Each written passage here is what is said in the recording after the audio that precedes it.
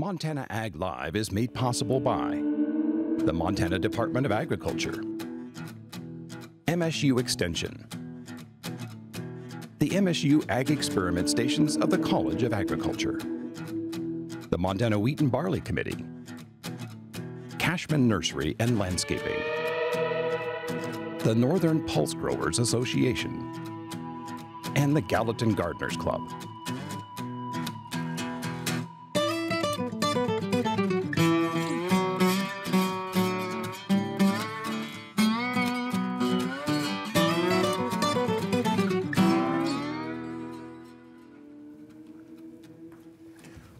Welcome to Montana Ag Live, coming from to you from the studios of KUSM on the vibrant campus of Montana State University.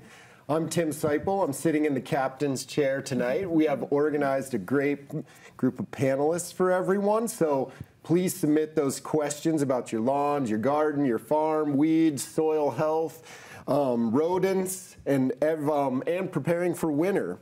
So tonight we have a great group of panelists organized here, and I'll go through and introduce them, and we'll come back to Susan, and she'll tell us about wind erosion in Montana. So first, on the far side down there, we have Bruce Maxwell, agri- professor of agricultural ecology at MSU Bozeman. Um, Bruce was on my master's committee when I was a master's student. Next to Bruce, we have Susan Tallman. She's an NRCS um, agronomist and certified agronomist as well. Um, and she's going to talk about wind erosion. Next to Susan, we have Stephen Vantassel. He's the vertebrate control specialist for the Montana Department of Agriculture. And so if you have any questions about pesky four-legged uh, vertebrates, call them in. And next to me is Abby Saeed. She's the extension horticultural specialist. So call in and ask all those questions about lawns, gardens, and everything else. We have some great show and tell we'll come back to tonight. But our topic that we're going to cover tonight as our special guest, Susan, is you're going to tell us about wind erosion in Montana. You know, November to March is Chinook season. It's, we know it's coming up, and and you're going to tell us about the status of wind erosion in Montana. I thought it was solved when we switched to no-till, but you're going to fill us in. Oh, great. Thanks, Tim. Mm -hmm. And thanks for having me on. This is a topic that um, is important that we talk about in Montana, wind erosion. Um, yeah, I think a lot of people had assumed that when we switched to no-till that we wouldn't have problems with wind erosion, but unfortunately that's not the case because um, the key to solving wind erosion is keeping enough residue and vegetation on the field, and that can happen with or without a no-till system. Um, and obviously you can improve your no-till system so you can uh, control for erosion. So that's a real important message I want to get out, is that there are management steps that we can take to control wind erosion. Great. So it, when I think of wind erosion in Montana, and, and as an extension specialist, I drive around the state, and I'm looking in the, I'm always looking in the ditches to see what color the ditches are, how much soil is in there, and you do during the fall see a lot of soil erosion that's present. Did soil erosion decrease and then increase? Um, what, where does our issues, where does, you know, historically we think of Montana and its strip tillage. You know, we used to mm -hmm. make mm-hmm. strips and then leave fallow in between and we kind of broke things up that way. How's, when we switched to no-till, we thought we sort of solved this problem by having, not disturbing the surface as much. But does no-till really function well to prevent soil erosion or how do we think about this when we think about soil erosion?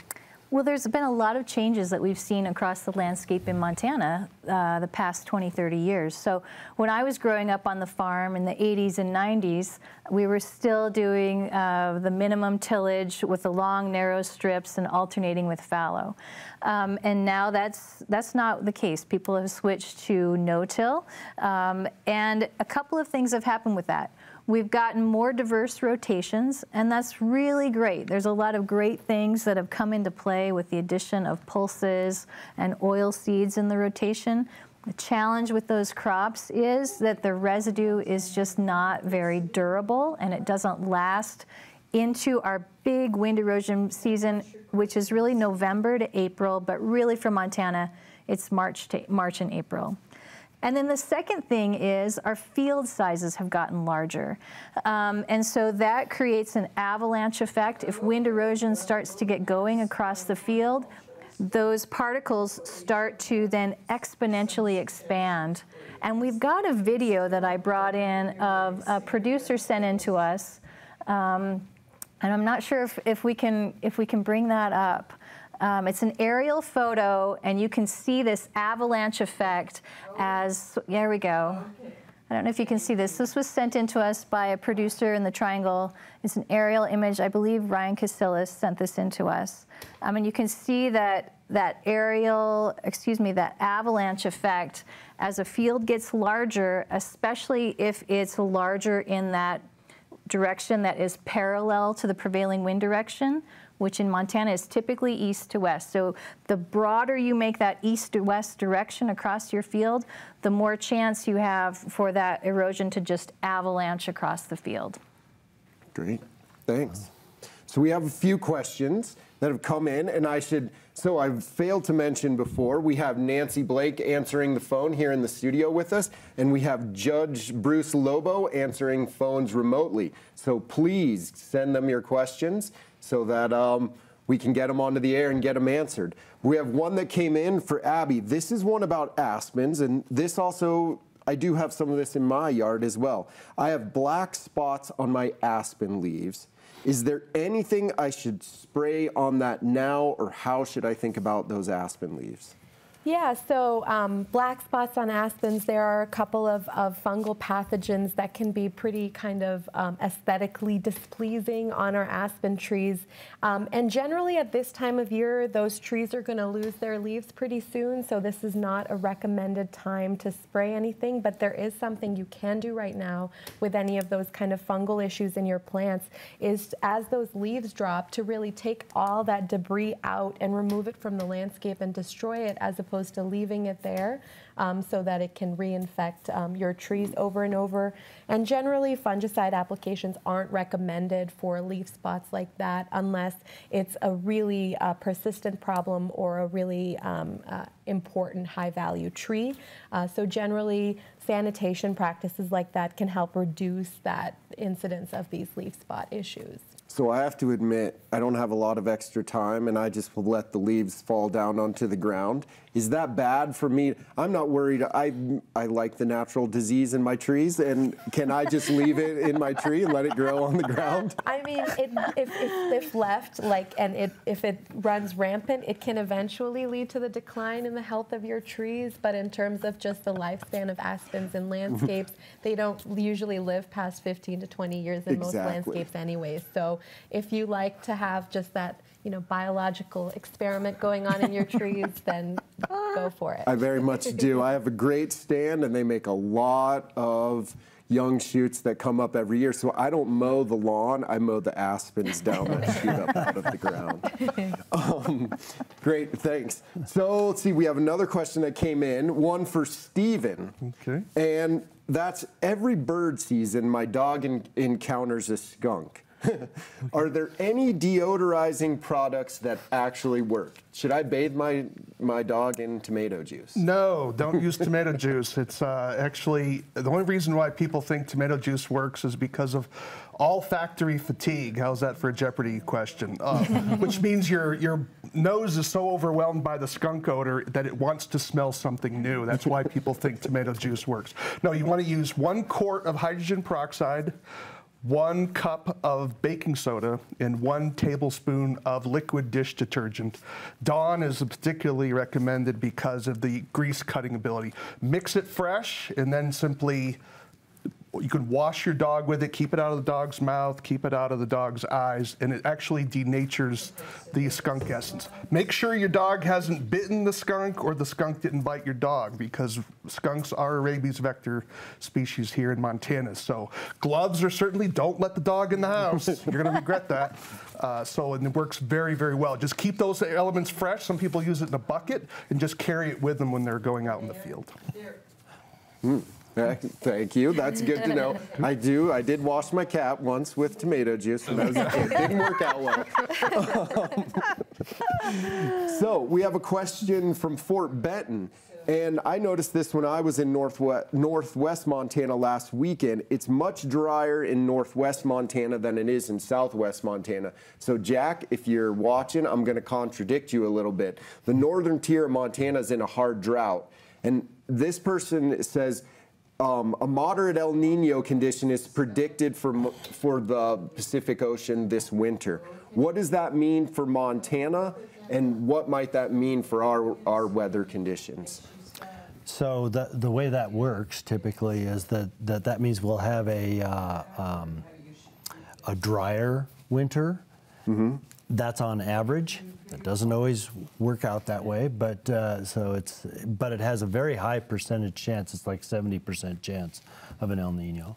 Mm-hmm. So and it's been building. Yep. So that that makes us believe that, that if there's going to be a dry winter, this is probably likely to, to be one. Yep. Now, having said that, we've also had those El Ninos break down fairly rapidly in, in the last few years. And what that means is in the spring, we still have a very, can have a very wet spring and basically make up for that loss mm-hmm. um, in, in, in a fairly big way. So uh, it's not that it's all dire and, and we're going to, to dry up and blow away, but, uh, but we, we may not have the snow cover, so the skiers may not be as happy. Mm-hmm. Yeah, good reason to have good stubble on your field. I think when we go into those conditions. So Susan, what, what, do, what are NRCS's recommendations going forward to limit soil erosion for maybe just a producer or a county or thinking about how, how to manage soil erosion? If we know this year might be kind of tough, what, you know, it's too late for harvest, but are there any things that people can think about moving into the future to control soil erosion or limit soil erosion in their situations? That's a great question, Tim. And I want to get to that. But first, I'm wondering if we can maybe show a little bit about the economic loss of soil erosion. Oh, yeah, absolutely. Um, yeah, we can show some. Yep. I brought a picture. I'm, I'm all about pictures today. Um, I brought a picture just uh, showing um, a bunch of soil in the ditch and uh, not definitely not trying to call anybody out, but uh, wondering if we could show that picture of the soil in the ditch. And this is in uh, northern Montana. I believe this is in Liberty County, and this was taken uh, last year, so April of 2022. And you can see all that sediment in the ditch. You can barely see the fence lines there. And this is off of a 300 acre field. Um, and you can see how sugary that, soil, that sediment looks in the mm -hmm. ditch. That's because um, when wind comes along, what goes up into the atmosphere is the clay, the silt, and the organic matter, the most valuable fertility pieces of the soil, right? Those are lost to the atmosphere. What's left over is the sand. So what you're seeing there in that ditch is the sand. So our, our soils become less fertile and more sandy with the more erosion that they have on them. Um, so even though this is sand, our local staff went out and took a soil sample in the ditch, just the top six inches. We assumed that this field lost about a quarter inch of topsoil off of a 300 acre field. We did calculations based on current fertility costs, and I had Clain Jones check those assumptions. Mm -hmm. We estimated in the ditch that there was about $7,800 that is lying there in the ditch. So an, another And that was of nitrogen fertilization, not organic matter or other important exactly. things. Exactly. That was the NPK and S, and there was a lot of potassium in that. Mm. Um, and there's probably more than $7,800 in that ditch, right? Because that's what was available in a lab test. Mm -hmm. And we don't know what was lost with organic matter, clay, and silt, right? That was up in the atmosphere. We couldn't test that. So you know, a message that we want to get out before we talk about how do we fix it is we want people to understand that um, there's a reason that you would want to care about that as a farmer. Mm -hmm. um, is that that's if you're losing soil, you're losing money. That's your property blowing away when it blows away. I yeah. mean, it's a big, it's a big thing. Yep. Well, we have a, a whole bunch of questions that are coming in, so let's let's cut to a couple of them. We have a caller from Corvallis, Montana, who had great cauliflower this summer, but they were always full of earwigs. Is there anything you can do to keep the earwigs out?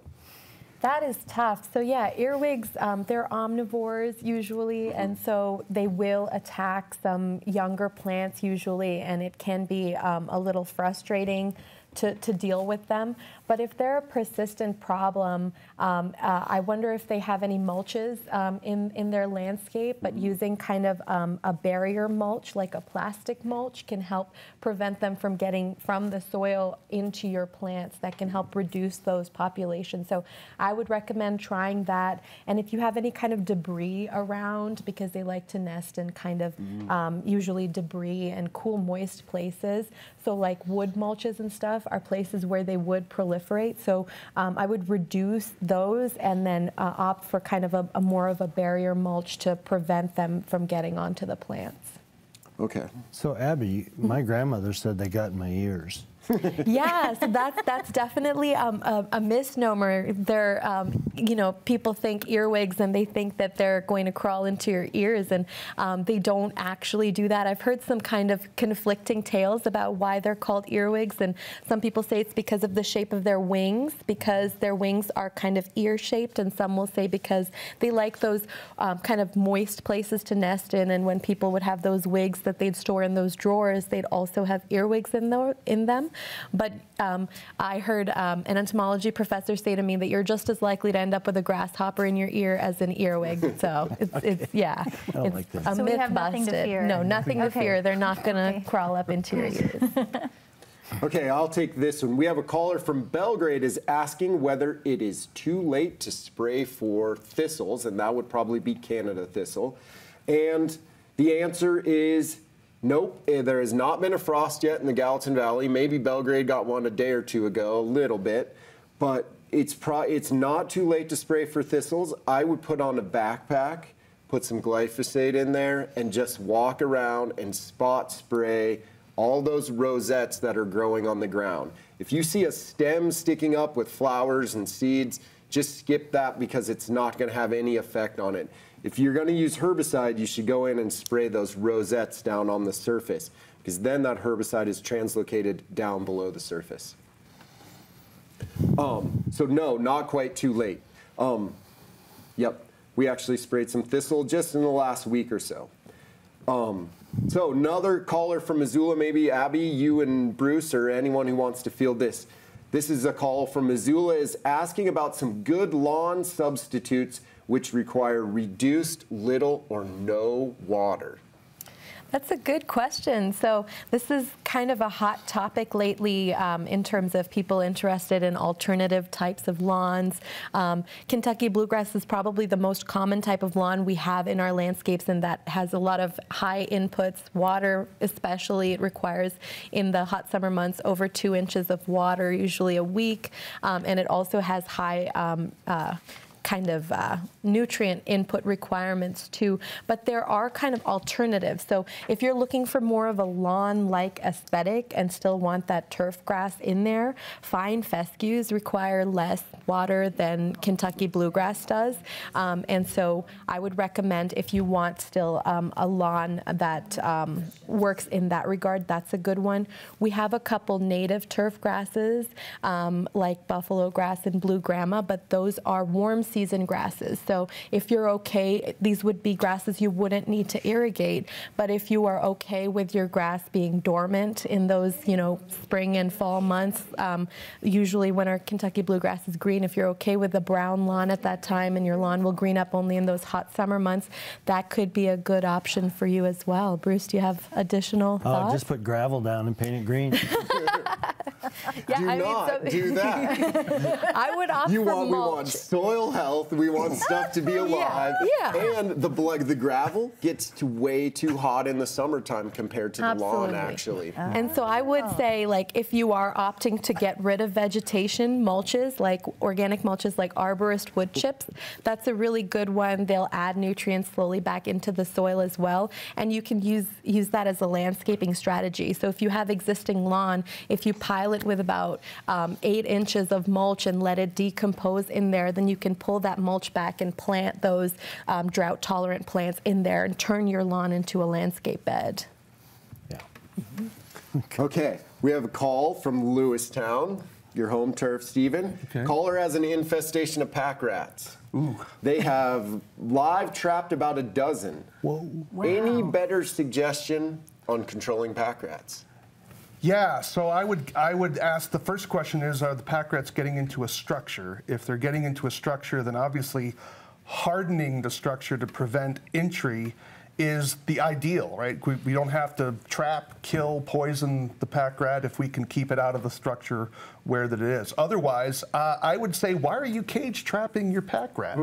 uh, a rat snap trap would be far more efficient in my mind because you're. I hope you're not like moving it somewhere and letting it go. Uh, that's not really the way to go. Uh, the alternative is going to using some rodenticides. There are some rodenticides that are permitted on for pack rat. Typically, they're produced by Liphatech, which is sort of a Rozol product. Always read the label. It'll tell you whether pack rats are listed, and then follow the label on that. So, Stephen, you have a show and tell in front of us. This is bait that you brought. I do. So and this is not for pack rats, though. Well, no, not necessarily, but it's the just the principle. I want you to focus on formulation because we're getting the cooler season. That means the mice are looking to get into your home.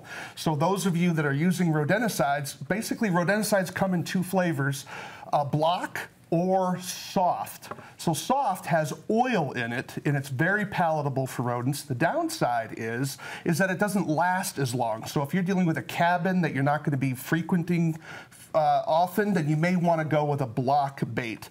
Uh, block bait, of course, it has all these edges, allow rodents to chew on it. These are, it can be the same active ingredient, just a different formulation or a different packaging of the rodenticide. So if you were able to use uh, if you're able to check your bait stations frequently, soft bait is really dynamite stuff. Uh, otherwise, go with the block bait if you're dealing with areas with high moisture, or if you want to take it up a notch, use both. Give because you know we all like variety. Well, rodents like variety too. So give them a little hard and a little soft, and that way you can see which one they like best.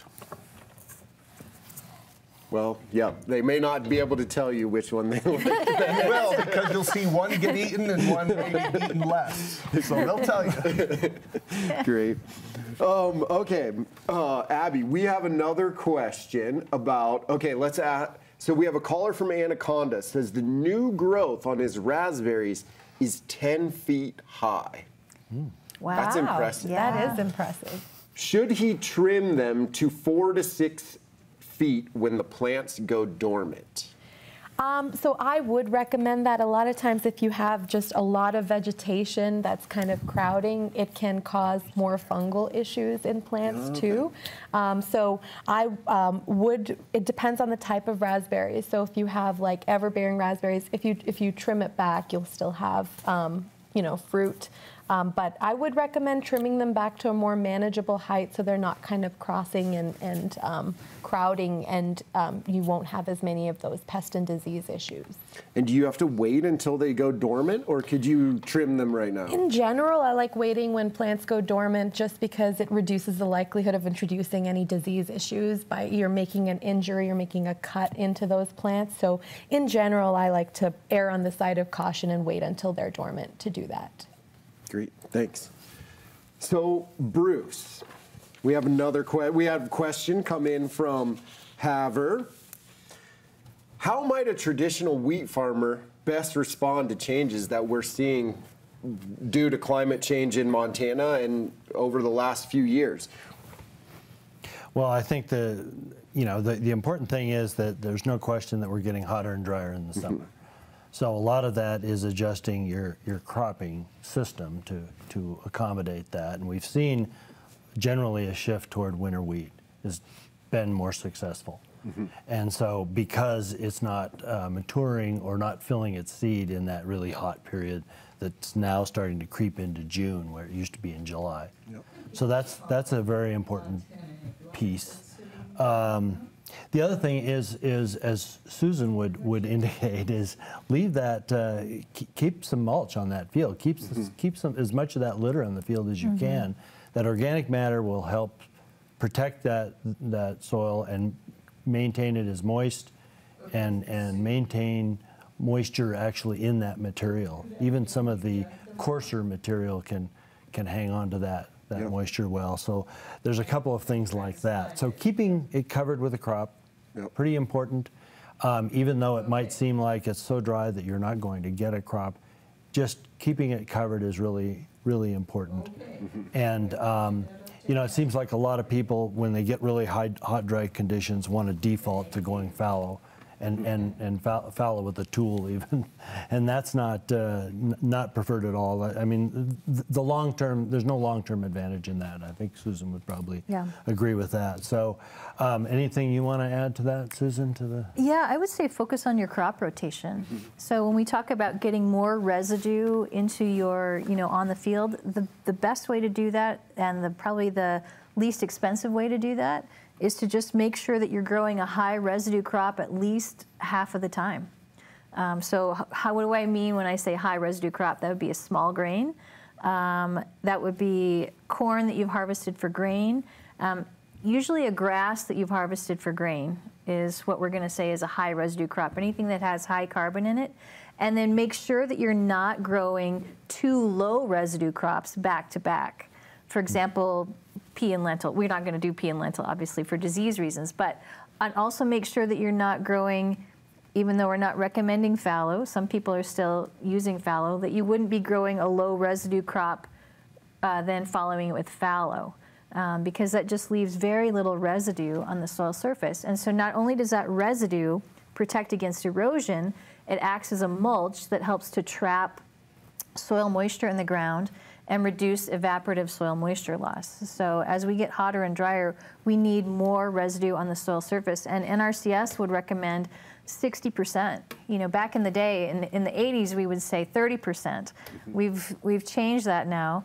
Um, and I would say you should really strive to maintain 60% cover on the soil if you can. So how does having high residue, leaving high residue, does that affect wheat stem sawfly in the field? Does that promote or does that affect that dynamic that we have uh, in in Montana? If I, I worked with some students and, and producers and we looked at you know where the wheat stem sawfly was overwintering and living and, and does that make a difference in how high you cut that stubble do some people want to cut it lower because they can cut that wheat stem sawfly off or anything like that? I'm glad you asked, and I really wish David Weaver were here right now because I've had a lot of conversations with him. But actually, um, keeping that tall stubble is actually better for wheat stem sawfly control. So. Um, because it's the tall stubble where the parasitoid, the natural predators live. Um, and so a lot of guys right now are cutting really low at that four to six inches, and that really doesn't leave any of the habitat for the parasitoids. So um, in talking with Dr. Weaver, he would say that many of the things that we recommend for wind erosion control and for soil health are the same exact principles that he would recommend for helping to control wheat stem sawfly. So he's a big fan of stripper header use as well. Oh, great. Yeah, that's interesting. Good, good. Um, okay, Abby, we have another question for you here, and this is a caller um, from Joliet, and they said their cotoneaster hedge was attacked by small slugs this summer. They ate the leaves, leaving only the skeleton of the leaf. Will the hedge survive, and how can they prevent this next year? Yeah, that's a good question. And, and when they mention um, slugs, I'm wondering if it might be sawfly larvae that they were seeing. So, um, because um, sawfly larvae are really, you know, well-known skeletonizers of leaves, and they'll go into plants in the rose family. Their um, rose slug sawfly specifically will um, kind of really defoliate a tree. But if, if you have just um, general garden slugs, um, I haven't seen damage to that scale. But in general, um, a, a few things to kind of do um, to keep an eye on. So maybe take care of this plant a little bit more starting next spring. If you have one kind of period of defoliation, especially if it's late in the season, usually the energy reserves in those plants are enough to get it through um, and it will um, leaf out again the following spring. But in terms of the type of slug, um, I don't want to make a recommendation without knowing what it is. So if they wouldn't mind, if they have taken pictures or if they wouldn't mind giving me a call or sending me an email to talk more about it, maybe we can narrow down what that exact pest was before I make a recommendation on it. Great. And Abby's phone number is up on the screen right now. um, let's move on to our. Uh, so I have another question. Caller dug up some wild roses. That's probably Rosa woodsii, most common wood, woods rose, most common in Montana, and transplanted them to their garden. They are now getting scraggly. Should he trim them back or let them continue growing? That's a good question. So they were transplanted this year? They were transplanted two years okay, ago. Okay, two years ago, and they're starting to get scraggly. Um, uh, kind of for rejuvenating, it might be a good idea to trim them back and kind of see um, if, if they become that uh, shrubby kind of um, growth habit again. Um, but um, I would say, yeah, it wouldn't hurt to, to trim them back um, to kind of encourage more growth. Usually, when mm-hmm. plants are getting um, spindly or leggy and things like that, and, and you don't have um, very much kind of foliage filling in, um, if you prune them back a little bit, that encourages more of that green leafy growth and, and more kind of um, branching. And so that would help fill them out a little bit more. So it wouldn't hurt to do that. Yeah, and I think woods rose is, is also rhizomatous. So mm-hmm. I bet if you trimmed them off, you could get exactly. some more shoots to come up out of the ground, and then you might get some better spread. Absolutely, and it's a really great uh, pollinator plant as well. So mm. yeah, yeah, one of my wood, favorites. Woods rose evolved with with a lot of browsing. So yeah, yeah. So that's yeah, it does really you're just well. Helping it out. Yeah. Yep, I think so too. That's um, the pink one, right? Mm-hmm. Okay. Mm-hmm. It can go pink, yeah, pink to white. Yeah, yeah okay. there's really very this tall and rangeland. Yeah, sometimes yeah. it'll be this yeah. tall, and sometimes it'll be two to beautiful. three feet tall. Okay. Yep. If any of my students are watching in class, we talked about phenotypic plasticity this week, and that is the ability of a plant to grow larger and smaller, you know, given conditions, moisture availability, and things like that. And woods rose is one that can really Phenotypic can do that. Very nice. that's, that's like a trivia that's answer a right trivia. there. That is a good trivia down. answer. Phenotypic um, plasticity. Stephen, we had a caller from Kalispell who asked if they would you could quickly repeat the recipe for cleaning a dog that's been skunked. Sure. Uh, so it's one quart of hydrogen peroxide, one cup of baking soda, one tablespoon of liquid dish detergent, Dawn is recommended for its grease cutting capabilities. Mix it fresh. Never store it because it'll have pressure and it can cause a little uh, cracking of glass or whatever. So just package everything in a bucket, mix it fresh when you need to use it. And keep it out of the eyes and mouth. And remember, it's hydrogen peroxide, so if you do this on clothes, it will bleach clothes or hair. But you know, that hair is not a big of a problem. So Abby, in the spring part, in the spring season of Montana Ag Live, I asked you about controlling codling moth mm -hmm. on mm-hmm. my apple trees mm -hmm. at home, and you told me to wrap the mm-hmm. trees, mm -hmm. and I think it did help, but it didn't mm-hmm. get them perfectly clean. But this is still an awesome apple. Yep. But if we want to come in and focus on the apple right here, we can see what we have on the inside. Yeah, so you see kind of the, the little galleries um, uh, of the larvae and the frass in there. Um, the codling moth larvae feed on the seeds um, of those apples. And this time of year, I was glad that you brought this sample in. Um, this time of year is a good time to kind of add more to the cultural control. So mm -hmm. other than that wrapping, um, you can do another season of wrapping. Sometimes they have two to three generations, so you're okay, catching I, the stragglers mm -hmm. again.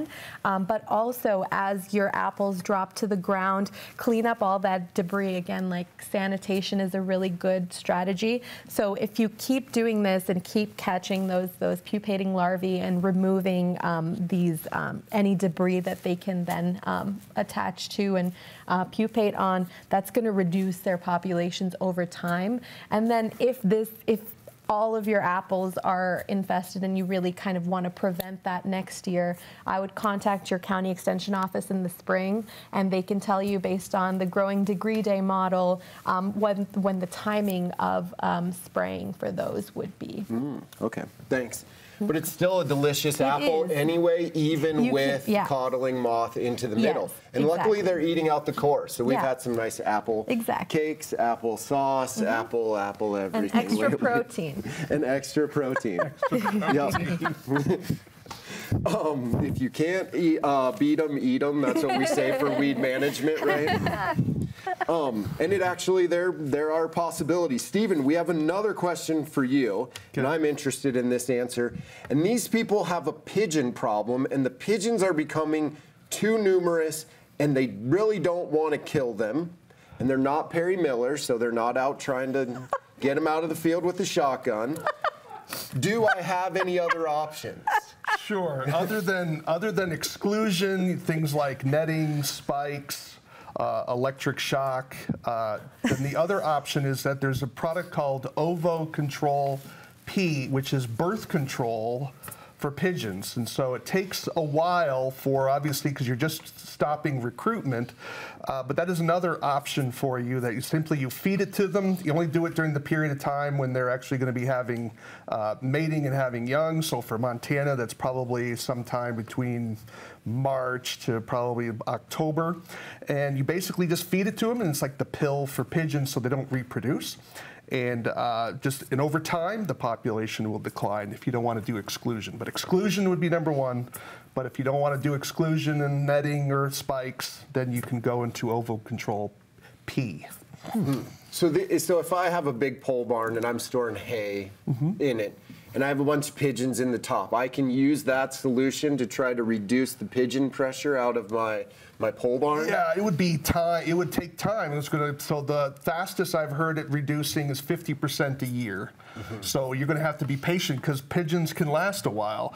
I would suggest other means of eliminating your pigeon problem, but if you didn't want to kill them, then that we've obviously limited some of our options there. So I would do exclusion for the barn. You know, drive them out and then sort of close the barn doors, so to speak. But if that's not possible, then I would move into per- perhaps the ovo control P. Okay. On the MSU campus, the great horned owls and merlins have done a great job. Ah. Pred- predation can help. Yep, they really. Um, Susan, so so we had some questions come in, and producers asked a couple of them. They were asking about. So, what can they do to prevent wind erosion? Are there any NRCS programs that they could get involved in or be a part of? And how might that work for producers across the Golden Triangle? Most of these questions are from the Golden Triangle. Yeah, you bet. So, as far as control goes, you got to keep residue on your field, mm-hmm. and that can be handled through crop rotation. Yep. Um, you got to disturb less, so that can be handled with no-till, and then cutting a lot higher, um, and then also decreasing your field size. And I don't, I don't want people to think that I'm saying we have to go back to 20 strips per section, but certainly if we had two or four fields per section, that would be a lot better with alternating high and residue low residue crops. That's a lot better than having one large section. So all those things. Um, no-till, strip cropping, and it doesn't, again, it doesn't have to be narrow strips. Um, and then uh, crop rotation, and then harvest management. All those things are NRCS conservation practices, meaning that we have a standard and specification and job sheet. If a producer comes in and is interested in that, that um, we could get them signed up for that. Um, however, in Montana, our EQIP funding is based on local working group priorities. Could you explain what EQIP is for people who might not be familiar with EQIP? Yeah, that's kind of our flagship program where um, we are essentially helping farmers to implement conservation um, with offsetting with some financial assistance. Um, and how the Montana Focused Conservation works is that the local working group gets together, and that's usually the conservation district and other interested members in the community, and they set the top priorities for the, the county or the conservation district. Um, and then from there, um, we will allocate EQIP funding. So for some counties, they have decided that, for example, spraying noxious weeds on rangeland is their top priority. Um, other counties have decided that you know, solving wind erosion in cropland is their top priority. And so that's where their EQIP funding is going. So I don't want to imply that every county has funding for this. However, I'd really like, currently, maybe I should say currently, I would like to encourage folks who believe this to be an issue to get involved with your local working group And then you can help set that priority for the next round of EQIP funding.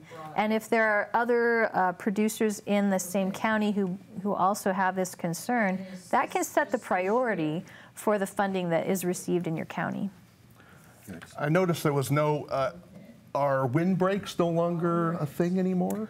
They are a thing. A lot of people have taken them out, but that would be another type of practice that we also have. We have a whole suite of practices, like you can even put in grass strips, um, you know, other things that, that can be used. But those were just kind of the top ones that I listed off that sure. were probably people would be more likely to adopt. Crop rotation being the first one because that's something you don't have to go buy new equipment. Um, you don't have to reconfigure your field necessarily, but I think a lot could be done in this regard if we looked at our crop rotations. Certainly windbreaks are a great idea though. Yeah. And unfortunately with the increase in field size, we've had you know larger equipment and it makes it difficult and they've get got taken out that way. I think we'll, we're not far from seeing programs that will encourage them again for all the positive parts to those those windbreaks, um, wind erosion being one of them. But another biggie is it's one of the best ways to infuse carbon back into the soil, into the system. Because yeah. you put woody material in into these windbreaks, and that makes a big difference. Okay. And so if we start paying people for, for capturing carbon, that'd be a great way to do it. You do notice when you cross the border north of Opheim, Whitewater, and you go into southern Alberta and Saskatchewan, you see a lot more windbreaks on that mm -hmm. side of the border than you do on the on the mm. U.S. side of the border. Interestingly enough. And I believe for folks who are interested, um, our state forester Celie Meyer was on a couple months ago, hmm. and I, I, think she talked about shelter belts and windbreak mm -hmm. yep. she was on. Yep. Yeah. Um, so that's kind of where our forestry practices and our agronomy practices overlap.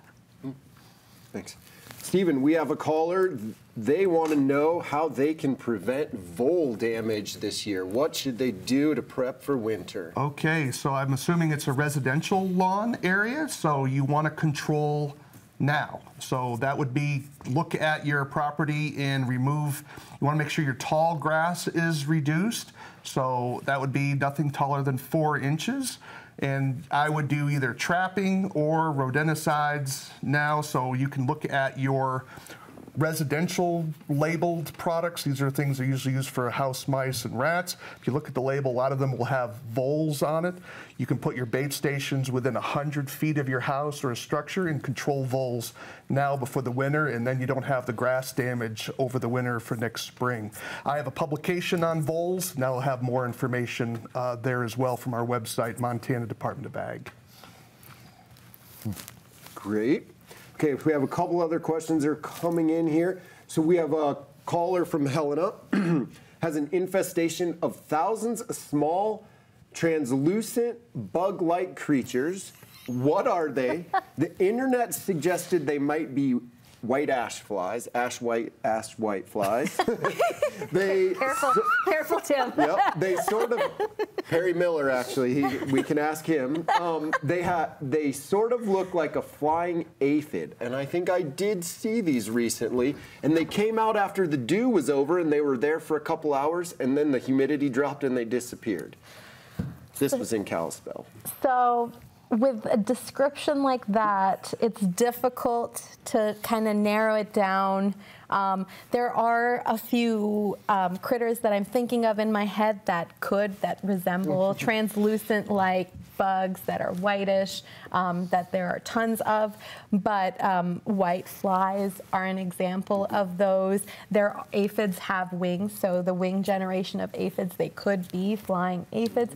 But um, if um, I'm hoping that they um, might have a couple if they saw them, if they collected them, um, it would be good to get a sample to, to take a look. So if they could send a sample to their county extension office, or uh, if they have pictures of this, if they could send them to me, I could narrow down exactly what it is. And you can submit photos to the Schutter exactly. Diagnostic Lab. Um, at MSU, mm -hmm. and you, we can identify those for you. Absolutely. Take a, practice your macro shots. Yes, yeah, absolutely. It's always kind of tough sometimes. Um, okay, we have a caller, another caller from Anaconda who transplanted a wild raspberry from the forest five years ago. It grew a little fruit earlier this summer, went dormant, and is now starting to grow small berries in the late season. Mm. Any idea why the plant has developed fruit, fruit so late? Uh, it's hard to say. Um, I mean, if you have kind of a delayed season, so my raspberries produced later this year than they did last year, um, and they kind of had a delayed start this spring too, but part of it was because the deer did a really good job of pruning my entire raspberry patch. Um, so um, they, the, the little uh, floricanes that, that popped up, there were just a few of those left and they produced a little later uh, in the year. Um, but sometimes when plants are stressed or if there are nutrient issues, there can be delays in fruiting and flowering and things like that. So it's possible. Um, a few things to kind of keep in mind if they've had problems with this in the past. Um, uh, contact your county extension agent to see um, if you can maybe send a sample of that plant or um, consider if they haven't had a soil test to kind of look into the fertility of the soil. If there are fertility issues that can also cause um, uh, delays. Yeah, I wonder how much a wild raspberry out of the forest would actually respond exactly. to fertility too. I think it would That's be true. they're kind of keyed into mm-hmm. being long-term survivors mm-hmm. and they may not want to make a lot of fruit. They may just want exactly. to make it till the next season. Yeah, it's always tough with some of our wild, the wild relatives. Mm-hmm. Um, so let's see, we have a search through here. Make sure we go back and get all of these.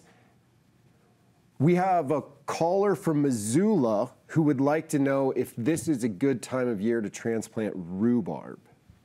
Yeah, um, you can transplant rhubarb now. This uh, rhubarb is, is really great. Um, spring is my favorite time to transplant rhubarb because by then I'm itching to do something in the garden after a long winter, but you can definitely transplant rhubarb now as well. Um, rhubarb is a pretty forgiving plant here in Montana, and so yeah, you can definitely do that now. So when you want to cut a piece off, how big a piece do you need? Yeah, so you want like three um, nodes usually of that, and you want to make sure you get into that root system and get a, a good chunk of that, but you want kind of three buds in there um, per kind of uh, section that you section it off. Good question. Mm. So, Stephen, we've been talking a little bit about climate change. Things are getting a little warmer and drier, mm-hmm. and I'm going to put you on the spot. Yeah. Do ground squirrels become more active earlier in the spring or stay active later when we have a later spring or a, or a later fall? Do they stay more active, or what cues them to go into hibernation? Yeah, so great question. I wish I knew the answer to that. So, it certainly makes sense that if it's if it warms up sooner, they'll come out of hibernation sooner. Mm-hmm. And if it stays warmer longer, they may take they may delay. But I've heard stories, uh, reports from people who've seen ground squirrels come out in December. Mm-hmm. So they'll be going into hibernation, and then maybe we'll have a warm spell, and they're popping up through the through the snow or through the uh, or from the ground. So I don't have good data on that. So I would just say is animals always break the rules. So when we talk about what animals do normally, we just talk about what the normal group does. There's always those outliers in situations can be can be different. But it would certainly make sense that it would be a little longer. But I think once they hit enough fat where they think they're fat enough to make it through the winter, I think they're kind of going down. And also cooler temperatures will probably trigger that as well. Okay, thanks. Um, Susan, we have another, we have one more question, and they're asking about, um, they have a field that's pretty undulating and rolling, and they mm-hmm. have some knobs and hilltops on there.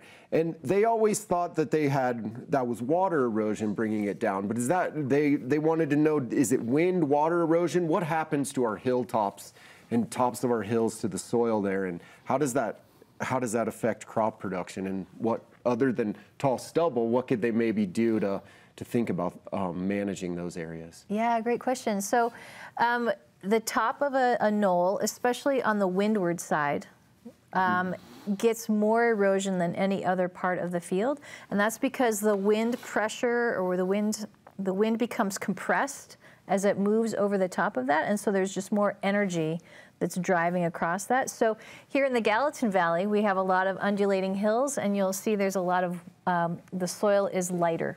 on the tops of those hills, or sometimes even white. And that's why, because those knolls have been eroded more than the rest of the field. Um, so obviously residue and vegetation, you know, maybe um, in some situations like that on very hilly ground, or on ground that is very sandy because sandier soils are more uh, prone to wind erosion. Sometimes, if you've tried everything that you can and it's still an issue, you might want to consider just permanent vegetation. So putting it into perennial vegetation, putting grass in, something like that. Yeah, it's not always possible, but for some people it can be a, a solution. All right, thanks. Let's see what we else we have on the. So we have another question for Bruce. And well, this came in. We can all answer it. This is for the Bozeman area.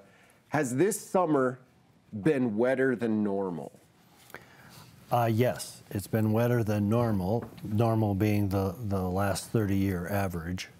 Um, but it's not the wettest. It was about the fourth wettest, I think. This month, you mean, did you say? Uh, no, they were asking about the summer in general. Oh, summer in general. If you take actually the three month period, it, I don't think Bozeman was as, as wet. Um, in fact, I think it was, uh, I think we've had plenty of other, other years where it was wetter. Yep. But it sure seemed like that because we've got, most recent years have been uh, uh, much more dry in, in our summer. So I think we got used to that, and so it seemed like quite, quite a wet summer. But yeah, if you take the June, July, August period as the, as the summer, then uh, um, it's not as as uh, different as you would think. I think it was above that average though for the last 30 years. For Yeah, sure. but it wasn't like that across most of the state. And you know, I always view my my judge on a wet summer is did the C4 grasses grow in the Gallatin Valley? and the C4 grasses are the warm season grasses, corn being one of them, millet, sorghum Sudan, and usually we try to be fancy in our experimentation sometimes and we try to follow something with a warm season grass. And usually it's too hot and dry to ever get them to germinate. And that's the reason why our native rangelands are mostly C3 grasses. And so whenever I see a C4 grass, I chalk, and it grows in dryland situations in Montana, I'll call that a wet summer. That's my judge for. And so Perry Miller's sweet corn down at the post farm actually right now looks really pretty good, and he actually has sorghum that's growing tall enough to harvest as well. So those are two kind of new crops we don't think about, but when you have we have warmer summers and you can actually put water to it, we can grow corn in, in some situations. That's true with some broadleaf species as well, the weeds. Yep. Um, we'll, you'll, you'll see a shift towards pigweed, a C4 species, in the hotter, drier early summers. Yep. Versus, you know, in a wetter, cooler, it'll be lamb's quarter. Yep. Even in the same place. It's amazing how those two species co-occur, but can be their dominant switches given the different kind of year. Yep, and I'm glad you came back to um, pigweeds because on the show I've talked multiple times about Palmer amaranth. And actually, for the first time, we found Palmer amaranth growing in a crop field just recently in Daniels County. It came in via contaminated millet seed, and that's the biggest vector into the state. But that's a pigweed, but it's one of these dioecious pigweeds that's evolved herbicide resistance to many, many, many modes of action of herbicides. You go down and you talk about species, us, these genotypes that are six, seven way resistant to herbicides. So we run out of options. So we're really on the early detection, rapid response of, of in Montana now, trying to make sure they don't establish. But when we went to the pigweeds, they actually hadn't made seed yet. They were just now flowering in late August. So you see them flowering in that warm season crops. So if you guys are out there, go look for your millet seeds and make sure you, uh, or go look in your millet fields and make sure you don't have any Palmer amaranth in there. And if you do, contact your county agent and it'll make its way to the Schutter Diagnostic Lab. The other incidents of Palmer amaranth found in the state actually came from contaminated bird feed. And someone put a photo, a very smart person in Shelby put the photo up on iNaturalist. iNaturalist is a web page. And they put it up and they wanted, they suggested the ID was Palmer amaranth and we backed it up and we, that was the first instance. It was one lonely male plant in Shelby growing in someone's right next to their bird feeder. Wow. wow. Yeah, so that was the that was the second incidence of it. So quickly, in the last time that we have left, Abby, I brought this lovely zucchini leaf yeah. out of my garden. And it's what a lot of the plants look like in the Gallatin Valley right now. So maybe yeah. you could tell us about it. Yeah, so I'm glad that your garden is an experiment for lots of samples for us. But this is um, powdery mildew. Um, and uh, it's a pretty common issue, especially as we were talking about the cool, wet, kind of season that we're seeing right now. Um, this is a host-specific um, fungus, so the one that's going to affect your zucchini is not the same one that's going to be affecting your lilacs and, and so on and so forth. But a lot of times these, this fungus thrives in the high moisture environment, so making sure that you are reducing overhead irrigation, thinning out plants that might be overcrowded to increase circulation can help kind of reduce this issue. You can also plant resistant varieties. Um, and yeah, that's a good, a good way to reduce the problem. Great. Yep. So yeah, my zucchini, that's good to know. I have it on my lilacs and zucchinis too. And, and so it's two ones. different species. Great. Yes. So thank you everyone for joining us tonight on Montana Ag Live. If we did not get to your question tonight, we will be happy to answer that question next week and fill in those questions this week on Facebook. Send them in and we'll answer them next week. Um, have a good summer week or last fall week and enjoy that. Do some good gardening and thanks again. Good night. For more information and resources, visit montanapbs.org slash aglive.